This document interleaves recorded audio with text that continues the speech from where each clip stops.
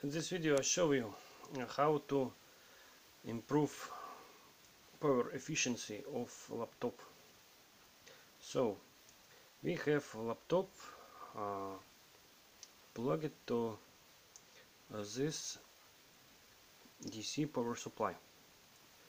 Here we have 004 amps while a system is not running laptop is uh, turned off. It, it, this, is means that uh, battery is charging. So let's try to run a laptop and see how many amps, amps it consumes. So we are launching a laptop. Here we have a noise.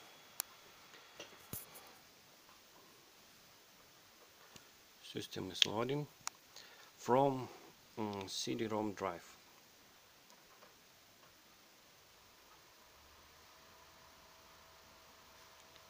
We have FreeDOS. So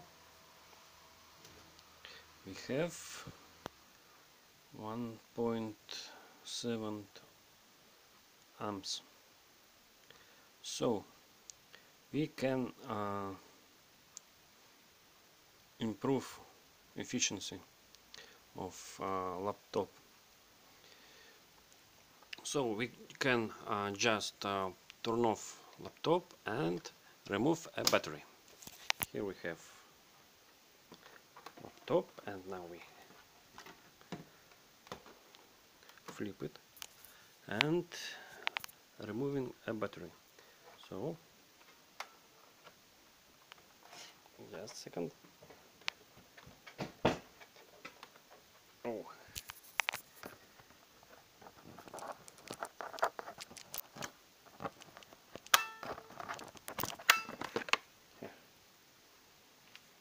We removed battery pack. So flip laptop again and launch it so we have loading from CD-ROM drive.